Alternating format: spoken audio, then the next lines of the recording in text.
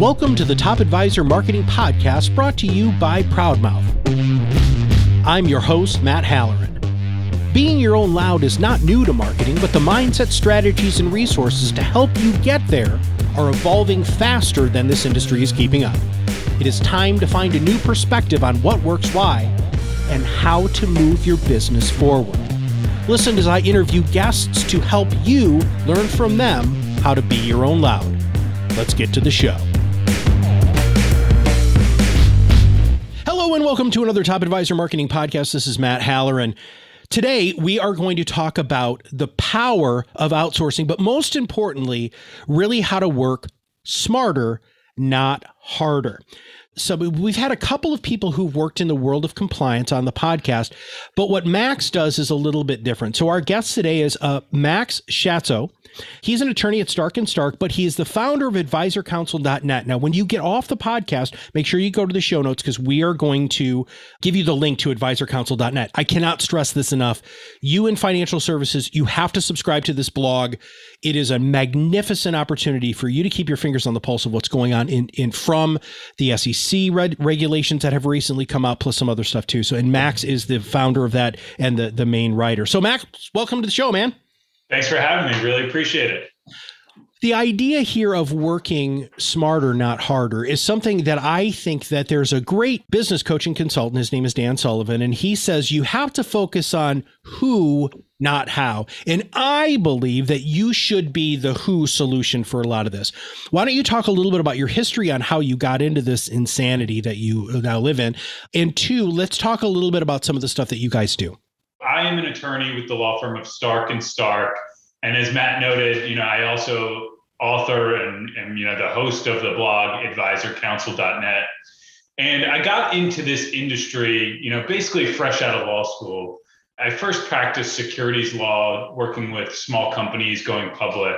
But then I slowly transitioned to this world of investment advisory, investment management counseling, just because there was so much demand for the you know for good counsel at affordable rates in this area right the counsel to companies like jp morgan goldman sachs they charge $2000 an hour for time for an attorney most smaller advisors you know one two three five person firms just cannot afford those rates and, and really you know grow their business and be financially, you know, in a great position business wise. I saw this great void and, you know, so did my colleagues, and we've really latched on and taken advantage of it.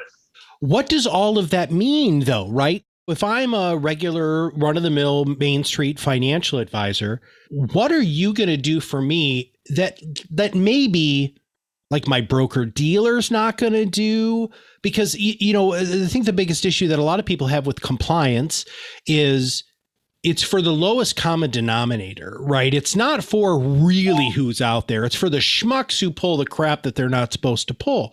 Help me with that. Yeah, great, great points. And I, I think we we help by crafting compliance programs and crafting business models that work for our clients, right? Our typical client is someone who has left a broker dealer, a wirehouse, a large RIA, and wants to start their own business you know someone who wants to get registered as an investment advisor and they don't want to deal with all the unnecessary burdensome compliance at their former firm we can help streamline their business to run smoothly to run efficiently and not really get bogged down by compliance but still be a compliant business. And that's where our value comes in. That was a freaking brilliant statement there. I love that. Not being bogged down by compliance, but still being compliant. And I think, Max, that's what everybody wants, brother, right? That's that's really truly and, and especially when people are leaving wirehouses or they're truly going independent, the RIA world, that's the reason I have found that the majority of them do it. It's not just because of payouts, it's really so that they have the freedom to say what they need to say. How do you do it though, man? Like, how do you, one, you got to build a lot of trust, Max, because I mean, these are people who are leaving. Let's say that they're leaving one of the big wirehouses. They're going to start their own RIAs. This is the freaking Wild West, brother. And everybody's coming to them because you know this, Max. There's all sorts of people saying, you need this, you need this, you need this. How do you guys build that trust so that they understand that I can trust them to make it so that I'm compliant but not burdened with compliance? Really good question. I think the reality is, and and the biggest comment I hear from clients and prospective clients is, we don't know what we don't know.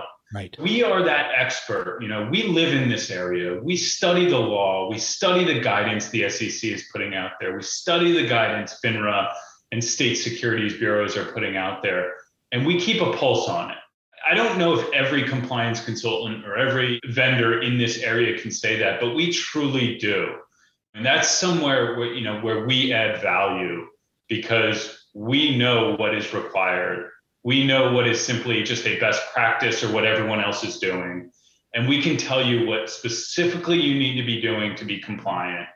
And then we can coach you on those things that you might want to do or not want to do that aren't necessarily required. And so there's some flexibility. We help fill the grayness there your ideal client is our ideal client, which is one of the reasons why I really loved having you on the show because we're really talking to the same people here, right?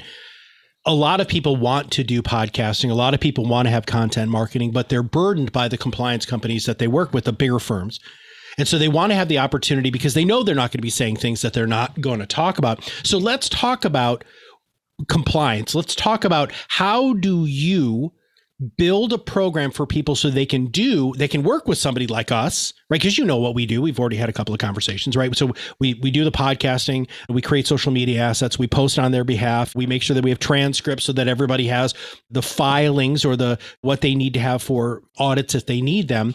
How do you help craft infrastructure so that they can execute what we do and and kind of just be a little bit less stressed about it every one of our clients is a little bit different depending on how experienced they are, how large they are, and how comfortable they are with compliance. I think we can offer as much or as little handholding throughout this process as they want or need.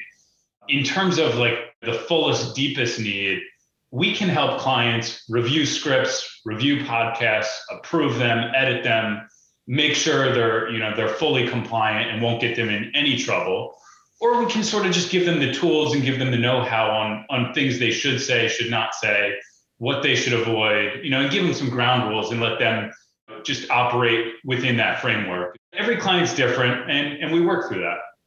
I love guardrails, brother. That that to me is like the one thing that where major uh, companies have really failed is because they're not guardrails, they're handcuffs, right? And and you guys give them the guardrails so that they can still navigate because most of the people that we work with specifically Max they're not going to be saying the stuff they're not supposed to say because number one, it's it's not honest. In fact, you just posted something, and I'm going to harken to something that you just recently posted on your blog, theadvisercounsel.net, talking about the new SEC ruling and talking about honesty.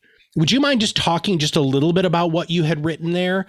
Because I thought it was really insightful and a little bit different of a take than I think people are looking at when it comes to testimonials specifically.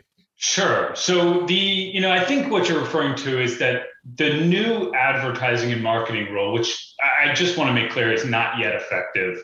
It's still sort of in this pending period. The new rule will have these principle based requirements to to sort of review or make sure that an, an advertisement is not false or misleading. And one of those sort of principles is this concept that something can't give a false inference or a misleading inference. And I think that's kind of the law, the lay of the law today, right? You know, you, you can't create this unfair inference. You can't promise returns. You can't guarantee returns all these things that most financial professionals are already very well aware of, right? Especially the ones who who are mindful of these things. Mm-hmm. I think there's there's just a lot of there's a lot that goes into understanding a new rule and we'll, we'll start working through those details with our clients but you know i think that sort of gives you a, an idea of what we're talking about and especially so if you have one of your clients come on and you're going to do a testimonial right one of the neat things about the new ruling or the one that's going to take effect whenever the heck it takes effect if you're paid for it, right? Or if you're providing any sort of compensation, you have to be upfront with that, which I think is going to hopefully make it so that a lot of people don't ever do that. Cause how terrible of a commercial would that be, dude? Oh, by the way, I just gave this person $10,000 to say how freaking awesome I am, right? That, that's going to nerf that pretty bad. But, you know, I don't think that a lot of your clients and a lot of our clients, especially people who are RIAs, they're very financial planning focused, right? So, so those are the kind of people, and they don't want to talk about returns. They want to talk about your goals and your plan and those sorts of things.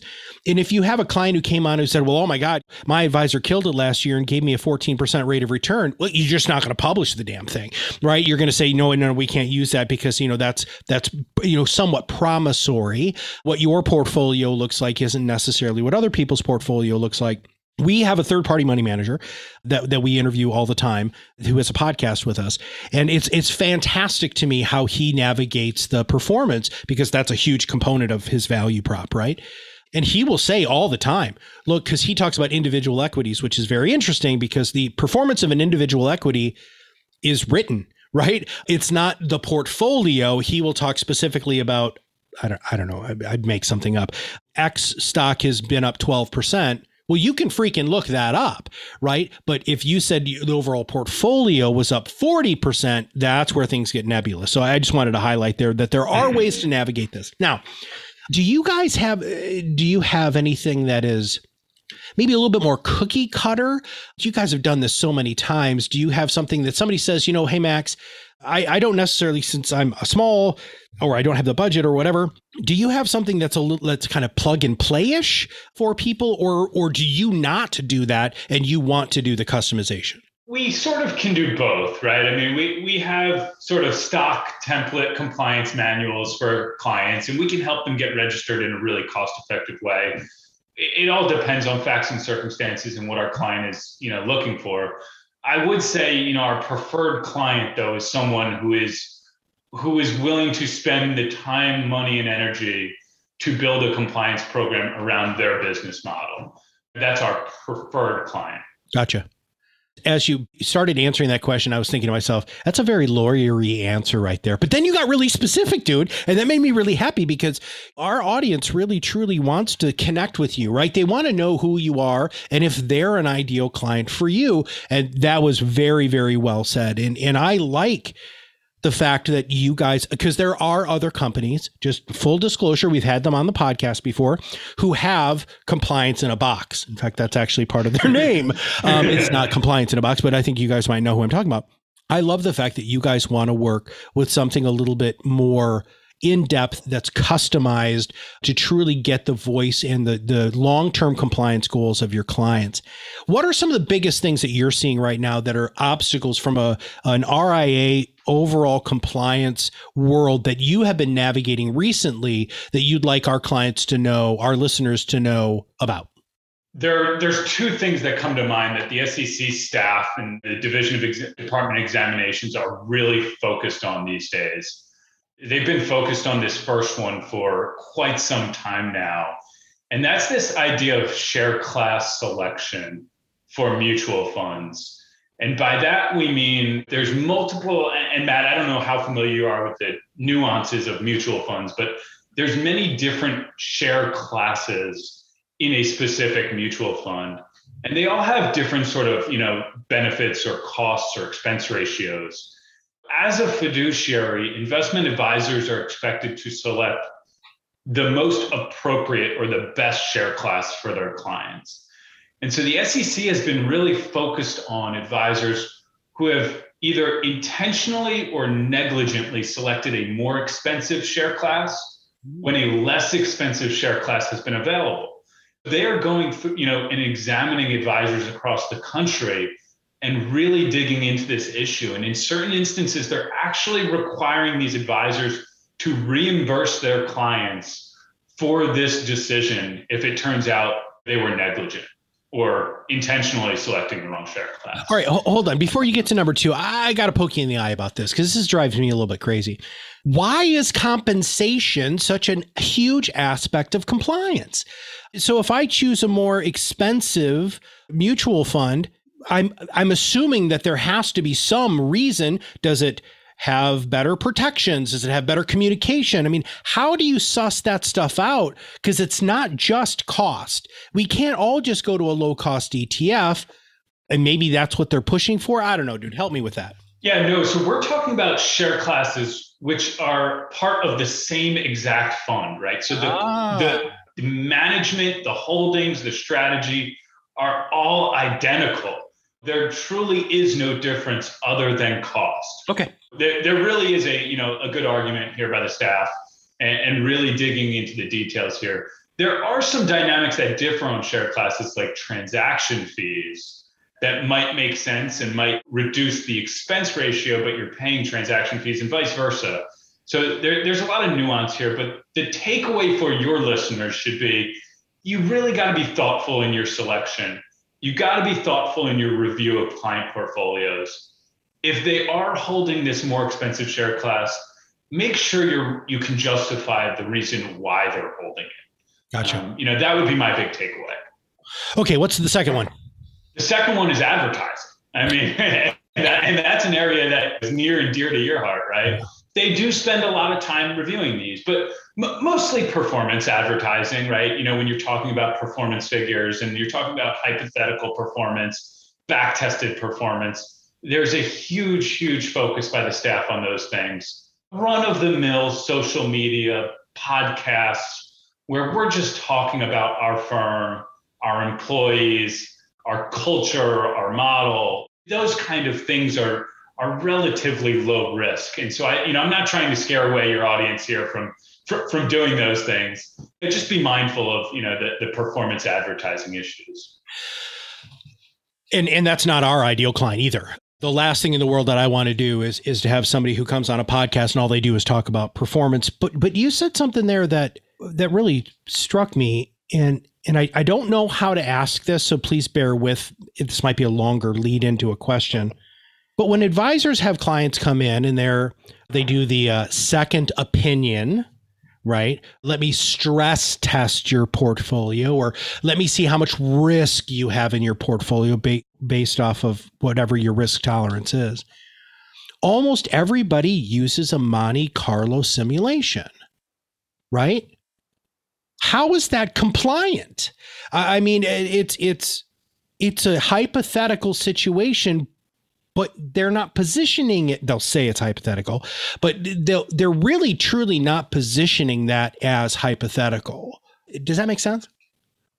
I think I understand what you're saying, and I, I think if you if you read the disclosures on these stress tests or these Monte Carlos, especially if you're using a big provider like Morningstar, right, or a, or a HiddenLevers or a Riskalyze. I mean, those, those software you know platforms include some built-in disclosures on those very points.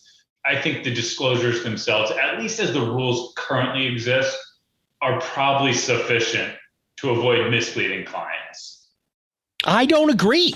I'm going to flat out not agree with you on this, dude, because it's so easy to manipulate that. Now, now, Riskalyze, I'm not. I'm actually going to put them in a different category. Uh, but like Morningstar, okay, brother. So Morningstar, everybody uses that stuff for BlackRock or blah blah blah. All these different companies, and and you know, so they'll say, okay, here's your portfolio. Now, if you invested with us in our process, this is what you would have. But but it, that's totally suspect in in my opinion. Of of first off, promissory. I think that's that totally is not compliant, and two it's not real, man. It's just so not real. So, do they need to rewrite this? I'm putting you on the spot. No, no, no. I'm with you. I'm, I'm with you. So, I think I was talking about two different things. I was talking specifically about like asset allocation Monte Carlos that are trying to project outcomes. We're just looking at, you know, will you be able to retire if, you know, we make 6% estimates? Can we reach your goals? What you're talking about is truly hypothetical back tested performance based on some model portfolio or a hypothetical portfolio. And, that is absolutely an issue of focus for the SEC staff. I think there, there is a high likelihood to mislead or you know, manipulate the data there. And so the SEC staff is well aware of those issues and, and they are focused on them. Trust me. Thank you for, for letting me challenge you on that. that, that was, but, but here's the fun part, everybody who's listening is this Max knows his stuff, dude. Like, uh, uh, we didn't prepare for any of this. You know, he was able to answer that off the cuff with with with passion, with expertise and understanding of the main differences between those two. And I'm glad that you know the SEC and, and the regulatory bodies are really looking at that. Which brings me to my my final question before I, I kind of wrap this stuff up, which is the idea of risk. Okay, from a compliance standpoint how do you help people create, whether it's an investment policy statement or or or how do you help people document the risk of their clients so that they're that they're compliant and covered. That's that's one of our big sort of selling points and and where we help our clients, right? I mean, we're not just focused on regulation. We are focused on managing risk from beginning to end, registration all the way to winding down your affairs some future date. We help clients with all those things, right? Creating investment policy statements that work, creating investment advisory agreements that work. We try and match your management style, your management philosophies and strategies back to your agreement, back to your IPS and make sure you know that your disclosures also align with these things in your form ADV or any sort of prospectus or any other kind of document that you might need as an investment advisor. We truly believe that our value is in those additional things. What should I have asked you that I didn't? Did I miss something? I don't think so. I mean, I think you, you know, the, the questions you've asked have covered a, a broad array of what we do and who we are if there's anything else that I can share with you about me as a person or you know our law firm, I'd be happy to. Let's let's wrap up with that, brother. I, I think it'd be great for everybody to just get to know you a little bit better, and then finally to wrap it up, uh, what is the best way for them to reach out to engage you? Absolutely. So, you know, as a reminder, I'm Max Schatzow. I'm an attorney with the law firm of Stark and Stark. In my spare time, you know, I love riding my Peloton spending time with my family, riding, you know, riding my bike outdoors, playing golf. You know, there isn't much time for those things these days. We got two young kids, but always looking to get outside. So that's a little bit about me. If anyone is interested in getting in touch with me, you can always reach out by email, which is mschatzow, S-C-H-A-T-Z-O-W at stark-stark.com or you can reach me on my blog at advisor counsel, advisor with an E, advisercounsel.net. Please, please, please. Uh, and Max, just so you know, we're going to have links to all of those in the show notes so that people can just click on those and email you or, or subscribe to your blog. Please, if there is nothing else that you do from listening to our podcast today, just subscribe to advisercounsel.net. I go on there just because I'm a nerd about this sort of stuff. I go on there really about every three or four weeks just to see what's going on because I was introduced to Max uh, through through a mutual friend of ours who's like, dude, you need to talk to this dude because he's freaking awesome. And you lived up to that, dude. This is a great. this is super fun.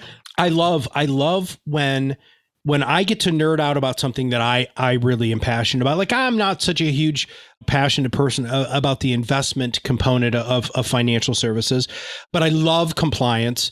I know that sounds weird and for all of you who are listening, we built everything we have at Proudmouth off of compliance.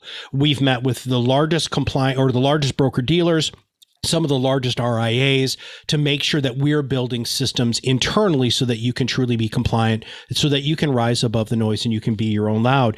That's our goal here. And by working with somebody like Max, working with Stark and Stark, subscribing to the blog, asking good questions, and finding out what's going on, you can have the confidence, which is truly what's needed to create your own custom content and own your marketplace. It's your professional duty to make sure that you have the infrastructure in place so that we can stop the main or the Wall Street misinformation about what's going on with people's personal investments and bring it to Main Street. And when you have the foundation of a great compliance backed office, this idea of being able to outsource this stuff so that you can focus on what you need to focus on, which is providing amazing financial advice to your clients and getting the word out about who you are. Using somebody like Max and using the firm Stark and Stark can really, really help you. So, Max, thanks for being on the show, brother. Thanks so much for having me. Really appreciate it.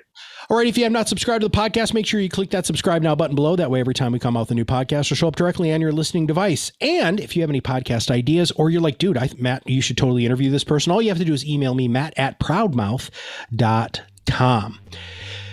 And for everybody at Stark and Stark and all of us here at Proudmouth, we'll see you on the other side of the mic very soon. Thanks for listening to the Top Advisor Marketing Podcast brought to you by Proudmouth. If you want to learn more about how you can be your own loud, Visit our website, read our blog posts, attend our educational webinars, and sign up for our new Influence Accelerator Academy, where you too can learn how to truly be an influencer in your space.